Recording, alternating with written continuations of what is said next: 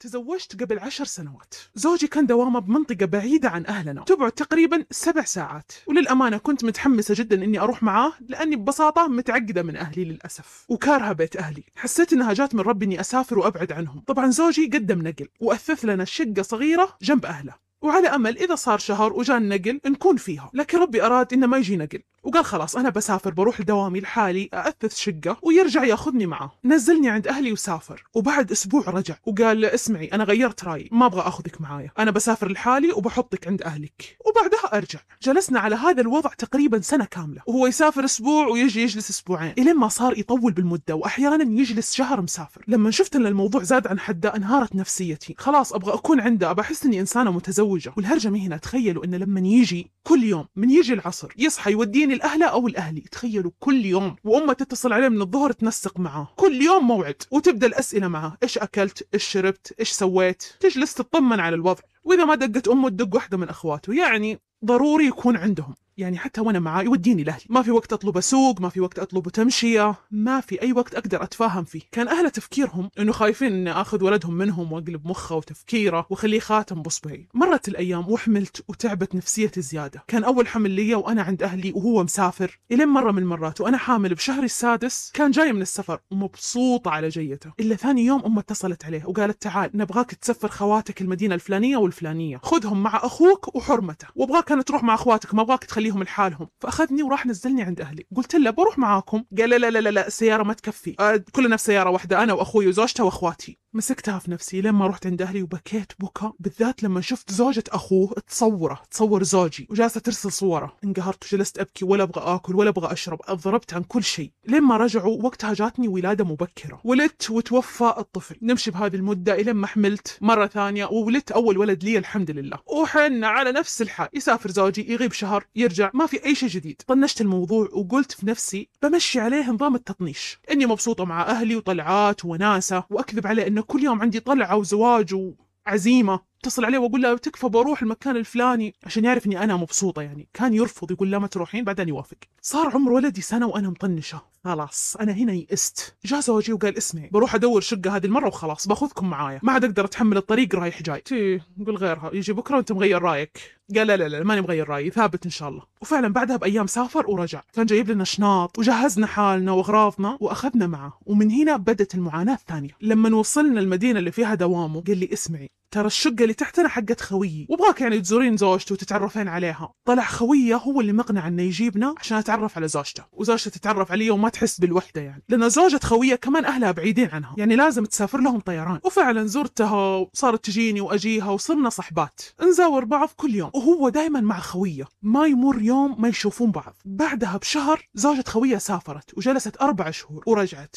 استغربت إنه كل هذه المدة جلست عند أهلها ولما جت وتقابلت أنا وياها سألتها. قالت عادي أنا أصلا دائما كذا طفش وترى بجلس أسبوع وبرجع لأهلي. الغريب إن زوجها يجلس بالشقة عادي. يعني هي تسافر هي وأطفالها ويشتاق لهم من كلامها ويجلس زوجها ينادي زوجي عنده أو يجي عند زوجي مرات. وأحيانا يتصل بزوجي بوقت متأخر يقول أبغى شيء آكله سووا لي أي حاجة عندكم. ولا أي حاجة يعني نواشف. كنت أحزن عليه والله. وزوجته برود بكل سهولة تقول طفشت وبروح لأهلي أستانس. المهم مرت الشهور والسنين وزوجة خويه نفس وضعها. تيجي تجلس عند زوجها شهر شهرين وبعدها تروح عند أهلها وتجلس عندهم. تجلس عندهم يعني ستة شهور سبع شهور. قلت لزوجي قلت يا أخي حرمة خويك هذه. والله زودتها الصدق مو لهالدرجة. شلون لها قلب تخلي زوجها وتسافر؟ قال ما عليك منهم إيش دخلنا فيهم؟ قلت والله انك صادق صدق إيش دخلنا؟ ما علينا. وطنشت. طبعا أنا حملت وولدت مرتين. وجاء الوقت اللي خلاص لازم أسجل ولدي في المدرسة. كان وقتها أيام المرض. وطبعا هي كمان بنتها بكبر ولدي اللي هي زوجة خويه إلا جاني زوجي وقال اسمعي خويي قال لي انه يبغاني أسافر أنا وياه المنطقة بعيدة وبنفتح فيها مشروع. وبنجلس نشتغل على هذا المشروع. ونخليكم أنتم يا حريمنا عند أهلكم ستة شهور. وأنتم تصبرون يعني ما عندكم مشكلة. قلت خير أنا ما أصبر ستة شهور.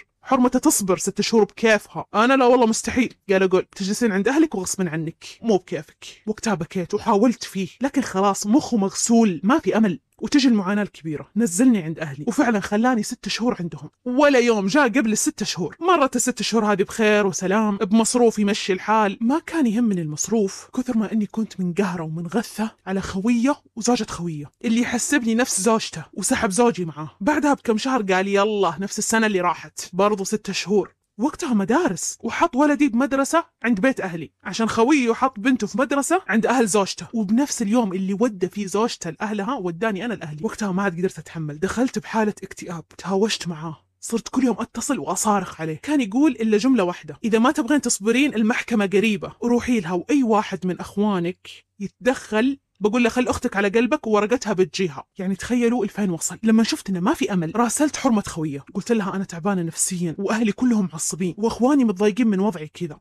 قالت لي أنا ما بيدي شيء. اتصلت بأم زوجي وقلت لها تتدخل. قالت لي ترى كلنا تكلمنا معاه ومو راضي. يقول أنا وزوجتي متفقين. وزوجتي راضية ولا حد يتدخل بيننا. مرت الست شهور من السنة الثانية وجاء الوقت اللي كان مفروض ياخذنا فيه. بس لما وصل جلس يوم واحد وقال آه، ترى بسافر. خويي اتصل وقال لازم ترجع في شغل. هنا انقهرت ورحت ارسلت لزوجة خويه قلت زوجي جاء والنية ياخذنا بس ما أدري من اللي فر مخها. تخيلوا إيش قالت؟ قالت الله يعين. وراحت قالت لزوجها أنا ما دريت طبعا في البداية بس بقول لكم كيف اكتشفت. طبعا زوجي رجع سافر وشهر كامل. في الشهر هذا أرسل له ما يرد. اتصل فيه يرد معصب. واضح إنه في شيء مو طبيعي. وغاب شهرين زيادة فوق الشهر وبعدها جاء وأخذني. ما أقول لكم كيف كان وضعي عند أهلي. أخواني ما كان عندهم مشكلة في الحياة غيري. كل ما جو عند أمي وضعي مو عاجبهم. كل من جاي يزورنا من أخواني يجلس يزن فوق راسي ويظنون بزوجي الظنون وأمي ما عندها غير تدعي علي وعلى زوجي. لأن أخواني إيش كانوا حاطين فكرة انه زوجي إيش؟ إن زوجي حطني عند أمي لأنه متكل عليها إنها تصرف علي أنا وعيالي وعشان هو يوفر الإيجار والكهرب. وصلت لدرجة إني حتى لما أبغى شيء من الصيدلية أو السوبر ماركت آخذ عيالي وأروح رجلية.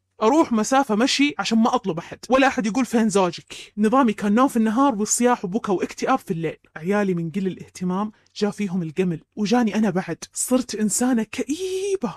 ما أحب أقابل أحد. لما أتروش شعري ما أمشطه. إلين ما شعري صار عقدة. عقدة كبيرة ما تنفك. أمي كانت تدعي علي في الليل وفي النهار. وأخويا يقول لو إني منك يا أمي أطردها. واخويا الثاني بعد يفتعل المشاكل أتفه شيء. لدرجة إني لما أرد عليه وأطول لساني يمسكني ويضربني ضرب قدام عيالي قدام أمي وأمي إيش تقول له؟ إيوه حيلك كفو. طيب خاطري. ما أدري باعتقاد أمي وأخواني إني أنا اللي قلت حق زوجي خليني عند أهلي. انام على كيفي وأصحى على كيفي. وإني عديمة مسؤولية. وأنا العكس أنا كل يوم أترجاه يجي يأخذني. كل يوم رسائل ومكالمات وإزعاج ولا في أي فايدة. عيالي من كثر الأفلام اللي يشوفونها قدامهم من أخواني وأمي صارت فيهم مثل العقد. كل كم يوم فيلم كل كم يوم واحد من أخواني يجي يهجم علي ويصفقني تصفيق. أمي تحرشهم علي إني أنا أقل أدبي معاها. والله يسامحني أنا فعلا كنت أقل أدبي بالكلام. ما كنت أتحمل من أمي كانت تجيني تصارخ. وأحس إني خلاص مثل المجنونة. طفح عندي الكيل أحس بذيك الفترة كرهت أمي. تقول لأخويا هذه ما ينفع فيها شيء. لازم نأخذ عيالها ونوديهم الأم زوجها وهي نربطها بغرفتها. في مرة من المرات كانت نفسيتي مضروبة. مضروبة. كنت قبلها بيوم ماخذة إبرة التطعيم. جاني أخوي الغرفة وقال قومي خذي عيالك واحشريهم عندك بالغرفة. قلت الحين أقوم. قال أقول قومي يلا. قلت طيب يلا بعد شوي. وجاء وسحبني من شعري وجرني على الأرض. من شعري. وقال لما أقول لك تقومين تقومين بسرعة. قلت له خليني أنا تعبانة تعبانة. فكني وأبد يشد شعري وأنفض يده وأروح ركض. وجهت على زوجته وكنت أقول لها إن ذا المجنون مو صاحي يلحقني. وقام مسكني قدام زوجته وضربني وعيالي كانوا يشوفون ويصارخون. ويجي واحد من أخواني ويفكني من شره. قام أخوي هذا قال له من سمح لك تمد يدك عليها. هذه إنسانة أنت تسوي فيها كذا ليه؟ وأمي واقفة تقول تستاهل من طولة لسانها. خلوها يمكن نرتاح منها. تخيلوا. طيب خلونا نرجع للزوج المصون اللي ما يدري عن هذه الأحداث. قبل ما يجي زوجي بيوم قال بحول لك مبلغ. روحي الصالون. قلت طيب حول لي حق بروتين عشان شعري. وفعلا رحت للمشغل وسويت شعري وخلصت. وأرجع للبيت وكل أهلي متجمعين. لما شافوا شعري استلموني طقطقة. إنها تتزينين على الفاضي وما يشوفك شيء ولو يبغاك ما خلاك كل هذه المدة. كلام ما له اول من تالي. والحمد لله سافرنا. بعدها قام يحلف لي إنه خلاص هذه والله إنها آخر سنة شغل لي. وإنه خلاص هو أصلا طفش. يعني ستة شهور من السنة الأولى وستة شهور من السنة الثانية. كمان يبغى يخليني ستة شهور ثالثة. هنا زودها. اعترفت وبكيت وانهرت عنده. وقال نفس الجملة إن ما رضيتي روحي المحكمة. حسبي الله بس. ما دام إنها آخر سنة لي زود لي المصروف. وتوكل على الله. ورجعت حليمة لعادتها القديمة. رجعت للمعاناة ورجعت لضغوطات أمي وأخواني.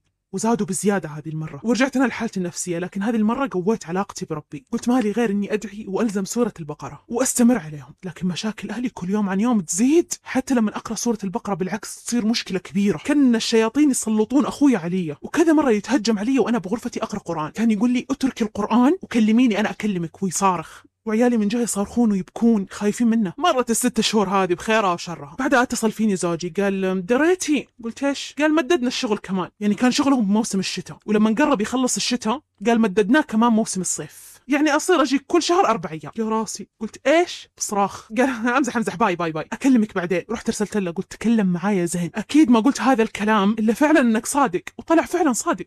وخويه كمان مزكن عليه. طبعا على أساس إنه خلاص وأهلي خلاص. على أساس إنه في الشهر الفلاني حيجي ياخذني. وأهلي إيش قالوا؟ قالوا بنسكت لين الشهر هذا ونشوف نهايتها. جاني انهيار عصبي. كيف إيش أقول لأهلي؟ كيف بصبر بعد؟ يعني فوق الست شهور اللي تحملتها هذه كمان يبغى يخليني. لين ما أكمل سنة عند أهلي. ما عرفت إيش أسوي. رحت دقيت على أمه. قلت لها ترى أخواني معصبين ويبغون يحطون عيالي عندك. قالت إيش أسوي اخوانا كلموه وتهاوش معهم. نفس الحال أجلس أدعي على خويه ليل ونهار. وبعدها نفس كلامه يجي أربع أيام في الشهر. إلين ما قاموا إخواني يعصبون يقولون خير شو اللي يجي شهر أربع أيام ويروح سلامات. إلين ما جاء ثالث شهر ثالث جيه له وجهزت له خطة مرتبة. طبعا بجياته الأخيرة كنت أمسك جواله وأروح لدردشة خوية وأشوف إيش يسولفون فيه وش يتكلمون. وكان من ضمن الكلام زوجي يشكي له مني إني أنا أزعجه وما هو عاجبني الوضع. كان خوية إيش يقول له؟ يقول ما عليك منها لا ترد عليها زوجتك خبلة. وقفل جوالك عنها تخيلوا. إلين ما جاء هذه المرة الثالثة واستنيته إلين ينام ومسكت جواله. الا تخيلوا وش قريت؟ خويه معصب. زوجي كاتب الخوية بسافر أنا أربع أيام. يشاور خويه انه بيجي عندي. يقول له خويه يا مريض روح بس يوم وارجع. ارمها على أهلها. خلك مثلي. زوجي يقول لا لا ما ينفع. وينفخ ذاك عليه. يقول له سوي اللي أقول لك عليه. معصب إن زوجي أصر إنه يجلس أربع أيام كاملة. وقتها قلت لاخوي اسمع. اتفقت مع أخوي أنا.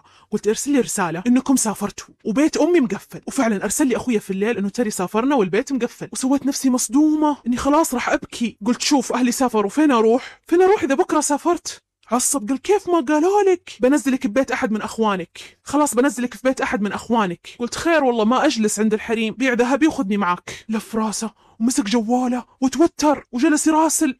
راسل خويه قام من مكانه وشبك جواله على الشاحن وراح للغرفة الثانية ونام. لما تأكدت إنه نام فتحت جواله. عشان أتأكد إيش قرر إلا شفت المصيبة. محادثة خوية. إيش كاتب فيها زوجي؟ كاتب فيها إن أخوي راسلني وإنهم سافروا. إن أهلي أنا سافروا. إيش يسوي؟ رد خوية. قال له أحسن تستاهل. قال له أحسن تستاهل. أنت اللي خليتها تمشيك على كيفها. خلهم يتدخلون بضعف شخصيتك. ما عليك منهم قفل جوالك عنها ولا ترد أبد. قال كيف أسوي يعني؟ هي الحين معي زوجتي. شو أسوي؟ قال طلق.